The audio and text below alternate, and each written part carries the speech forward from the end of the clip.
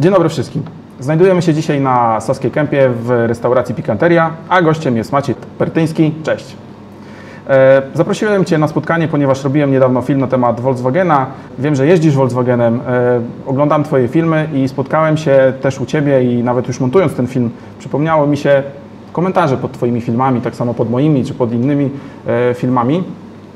Chciałem Cię poprosić o zdanie, co takiego ma w sobie Volkswagen, że wywołuje tak skrajne emocje. Przez jednych jest kompletnie hejtowany, a przez innych bezgranicznie kochany. O co chodzi? Strasznie trudne pytanie zadajesz. Znaczy, jeśli chodzi o hejt, to dla mnie rzecz jest absolutnie niezrozumiała, bo no tak naprawdę Volkswagen nikomu nie zrobił żadnej krzywdy w Polsce. Cała afera, e, tak zwany Dieselgate, jest aferą dętą i dotyczącą absolutnie wszystkich, ponieważ fizyki nie oszukamy i fizyka dotyczy wszystkich producentów. Oczywiście, bardzo nieładnie, że Volkswagen udawał, że ma lepsze wyniki niż ma, e, ale jak się okazało w ciągu tych dwóch lat od wybuchu afery, e, tylko jeden producent nie ma takiego problemu, e, jest to Ford, ponieważ od początku założył, że nie będzie brał udziału w wyścigu. Natomiast cała reszta równo, wszyscy producenci diesli okazali się dokładnie takimi samymi oszustami. E, Więc e, hejt, e, jak niektórzy próbują twierdzić, spowodowany tym, że Volkswagen usiłuje wytruć nasze dzieci i nawiązuje do tradycji niechlubnych bardzo niemieckich, e, nie, to nie jest wytłumaczenie i ja tego po prostu nie kupuję. E, Podejrzewam, że o wiele bardziej prawdopodobna jest jakaś forma zorganizowanej akcji konkurencji, która bardzo nie lubi Volkswagena z podstawowego powodu. Volkswagen robi znakomite auta i świetnie się sprzedają te auta. E, Również w Polsce, również e, nowe, nie tylko te przysłowiowe mm, pasek w TDI-ku B5. To są po prostu bardzo dobre samochody, natomiast Mm, Fala hejtu, o której mówisz, e, dotycząca e, rzekomych straszliwych przekrętów dotyczących e, brania oleju czy, czy rozlatywania się turbin i tak dalej, no zupełnie nie wiem o co chodzi, bo to jest tworzenie faktów nieistniejących. Ale chyba w Polsce już się trochę przyzwyczailiśmy do tego, że prawdą jest, że jeżeli się tysiąc razy powtórzy kłamstwo, to ono się staje prawdą.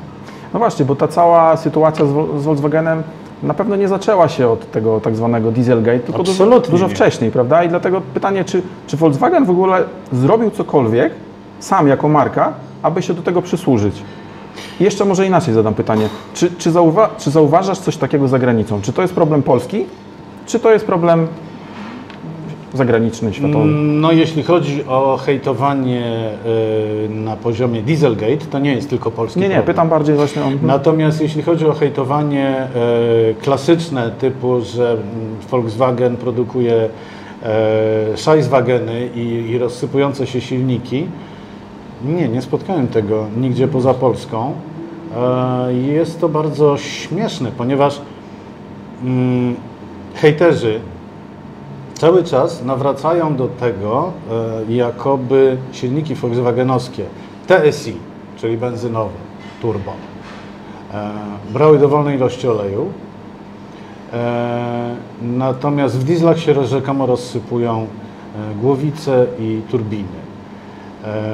Ja naprawdę od dawna się zajmuję motoryzacją. Pracuję w zawodzie dziennikarza od prawie 27 lat, a w motoryzacji siedzę lat ponad 40. I e, no wiem doskonale, że Volkswagen miał dwie wpadki.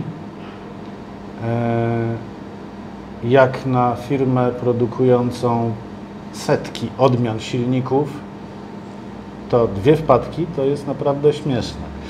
E, Przy czym, co jest istotne, oni się bardzo szybko do tego przyznali, wycofali z produkcji te dwa wadliwe silniki. I e, z tego co pamiętam, żaden z klientów, którzy nabyli te samochody z pierwszej ręki, nie był niezadowolony przez e, załatwienia sprawy przez Volkswagena. E, więc nasi hejterzy polscy jadą tylko i wyłącznie na tym, co dotyczy samochodów zajeżdżonych w trupa, odkupionych od jakiegoś handlarza, który skupował samochody również z tymi wadliwymi silnikami. Ale przede wszystkim kwestia dotyczy najwyżej samochodów, które mają mm, oczywiście 15 lat i zaledwie 200 tysięcy przejechane, a Niemiec płakał jak sprzedawał. E, chodzi o samochody, które mają rzeczywiście około 500 tysięcy przebiegu, z czego ostatnie 250 tysięcy praktycznie bez serwisowania. E, no więc w sposób oczywisty są to e, zniszczone potwornie silniki, które mają prawo się rozlatywać, mają prawo brać olej. A popraw mnie, jeśli się mylę, ale ja mam takie wrażenie, że dziennikarz w Polsce, dziennikarz czy w ogóle osoba testująca, przeważnie teraz oglądając filmy, jeśli, ma- pochwalić, nie wiem, skrzynię w kiji, po, zrobi to bez problemu. A jeśli ma powiedzieć, że na przykład pochwalić po prostu za coś Volkswagena, czy DSG, czy cokolwiek, to albo się z tego od razu tłumaczy, albo się zwraca właśnie do hejterów, dlaczego chwali. O co chodzi? Ja odnoszę takie wrażenie, że trzeba się, trzeba się tłumaczyć z tego, rację, że się chwali Volkswagena. Masz rację, ja nawet osobiście występowałem kilkakrotnie y, z takimi apelami, żeby hejterzy sobie poszli. y, Z dosyć prostego powodu. y, Kiedy film czy artykuł zostanie opublikowany, ja bardzo lubię interakcję. Mówię o sobie, ale wiem, że koledzy mają dokładnie tę samą sytuację. Bardzo lubimy interakcję z czytelnikami, z widzami.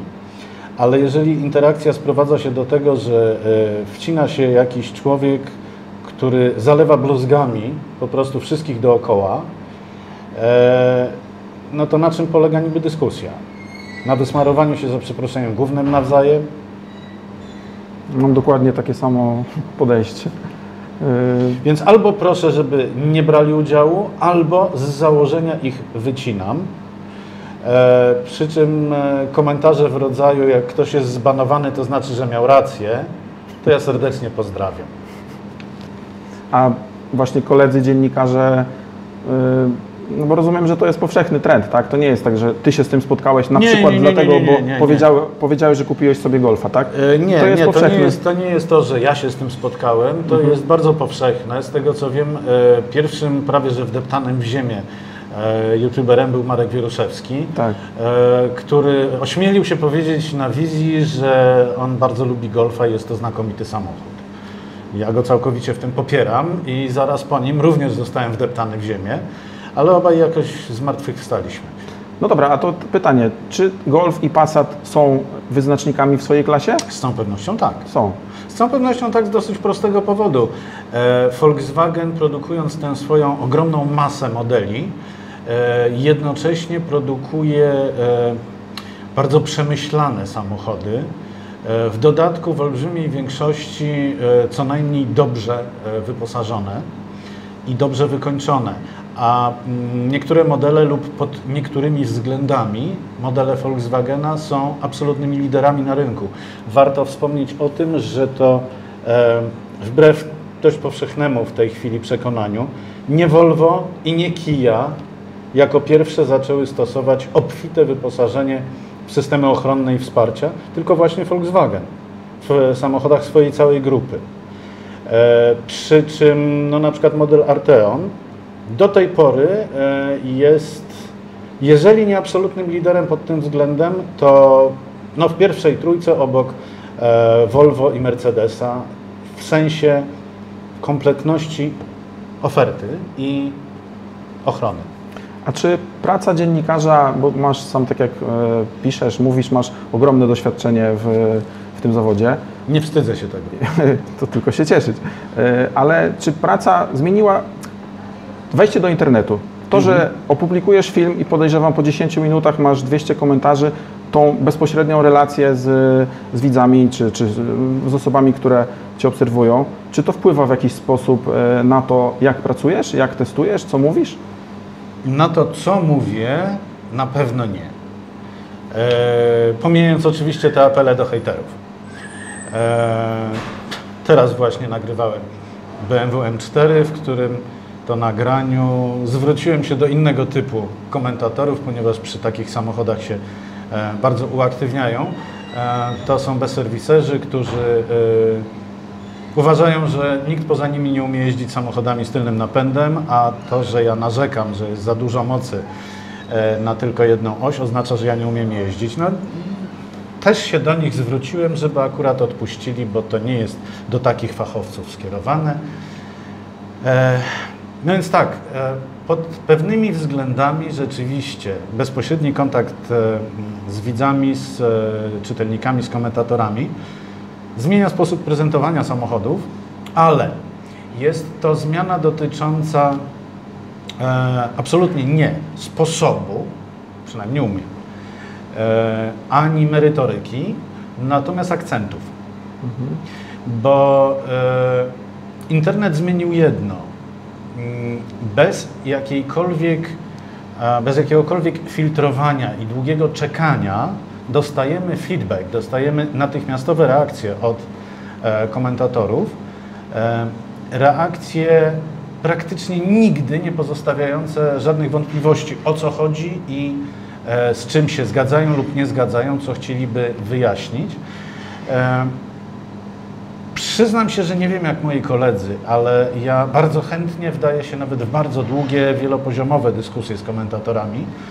E, chętnie im doradzam, chętnie pytam, o co im chodzi, w czym im można doradzić.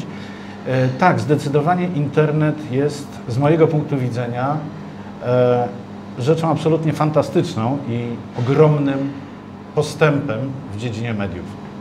No właśnie, pytałem o, o to, e, co się dzieje, kiedy przyznasz się, że na przykład lubisz jakiś samochód, to może zapytam z drugiej strony. E, A jeśli właśnie zdarza Ci się krytykować jakieś modele, to czy na przykład od strony producentów spotykają Cię jakieś problemy? Tak naprawdę tylko od dwóch.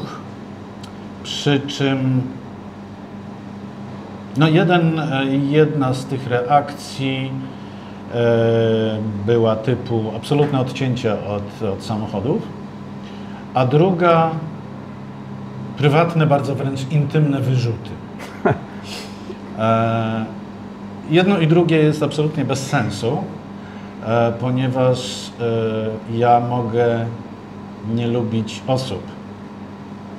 Natomiast to nie ma żadnego wpływu na to, jak oceniam e, samochody produkowane przez markę, w której te osoby pracują.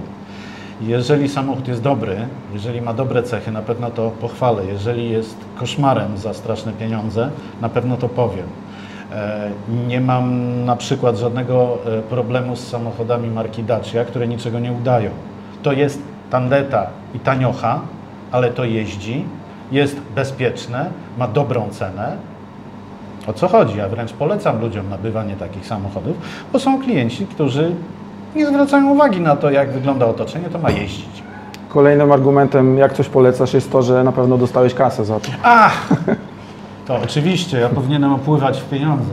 Albo przynajmniej byłeś gdzieś daleko. E, super no, byłem gdzieś daleko parę razy w życiu oczywiście, e, bądź co bądź prezentacje e, europejskie czy światowe odbywają się zwykle poza Polską, E, ale e, tak naprawdę na palcach jednej ręki e, przez te 27 lat w zawodzie dziennikarza mogę policzyć wyjazdy, o które warto by było powalczyć, ale to się okazało dopiero jak te wyjazdy minęły. E, Nie, to nie jest tak, przynajmniej w moim przypadku, e, że prostytuuję się. Nie. Nie. Zdecydowanie są oczywiście e, ludzie, których bardziej lubię, ale jak powiedziałem, czy lubię, czy nie lubię, e, samochód ocenię i tak obiektywnie. To może ostatnią rzecz zapytam, jeszcze wracając do tego Volkswagena. Jak uważasz, czy dla takiej marki bycie w takiej pozycji, już nie określając, gdzie ten samochód jest, ale e, ten hejt i to uwielbienie, to jest korzystna rzecz dla marki? Czy to jest to, że to, Znaczy, to masz, jest skrajne masz reakcje? na myśli starą zasadę A- dobrze a nie czy źle, gadają, dokładnie, dokładnie tak. Nie wiem, prawdę mówiąc, nawet e, w pewnym momencie usiłowałem namówić yy, szefostwo yy, grupy Volkswagena w Polsce na jakąś e, reakcję natury prawnej e, na hejt, który w pewnym momencie miał wszystkie cechy zorganizowanej akcji czarnego PR. Na pewno to nie wpływa dobrze, ale z drugiej strony e, no nie jesteśmy w stanie walczyć z takimi rzeczami. Zresztą Wystarczy się rozejrzeć po polskiej polityce. Z pewnymi rzeczami się nie da walczyć, nie da się wygrać. Ci, którzy e, walczą nieczysto, e, robią to od tak dawna, że są w tym dużo, dużo lepsi i na pewno ich nie pokonamy. Więc jedyne, co można robić, e, to po prostu robić swoje. Chyba to najlepsza konkluzja. Serdecznie dziękuję.